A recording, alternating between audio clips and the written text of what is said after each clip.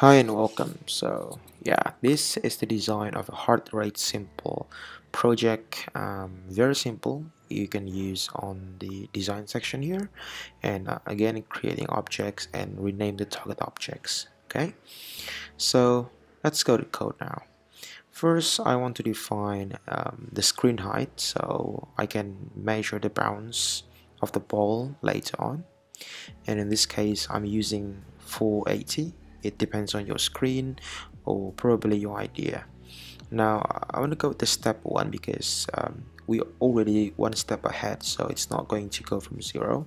This is one of my scratch idea before going to the code. So there you go bounce frequency. So it'll bounce about 10 times.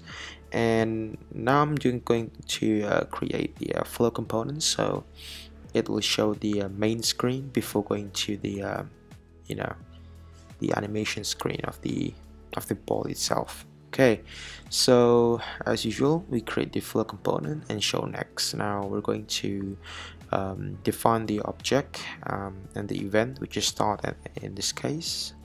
And flow show next go to artboard so basically going to the next artboard in this case.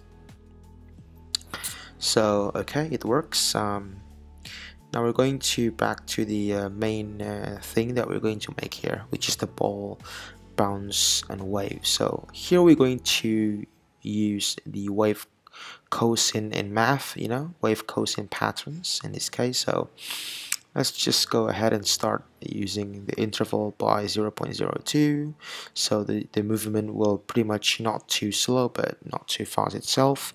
And then adding step 0.01 um, by that time. And then here we're going to use the pattern of maximum height which is uh, equals to screen which is the screen height and uh, divide by using the math uh, command here dot exponent of the step. So we change the uh, step to an exponent and we define it to uh, the screen height in this case to add some some kind of measured um, height of the uh, wave in this case. So now we're going to define the cosine wave which is again the maximum height times math.tan here again.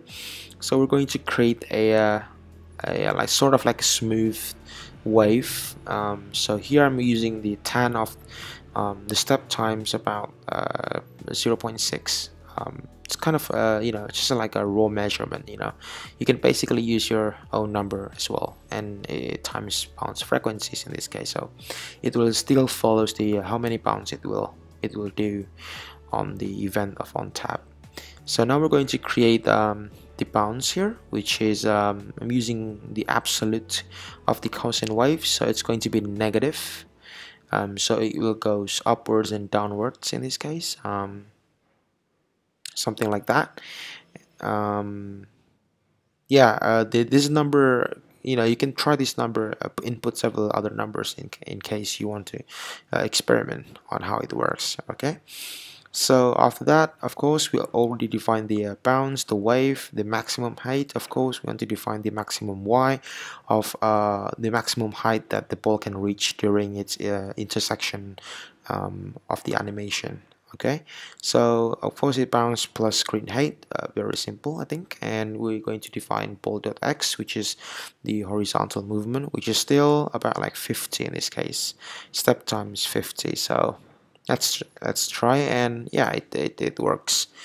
It works perfect and you can as well as trying to uh, change the number inputs from the cosine wave um, uh, the smaller the number it will go smaller you know the, the wave will uh, transform into smaller waves. So um, yeah let's try probably 0.4 yeah maybe 0.4 okay so as you can see the uh, the wave isn't too big anymore it's not too wide as before.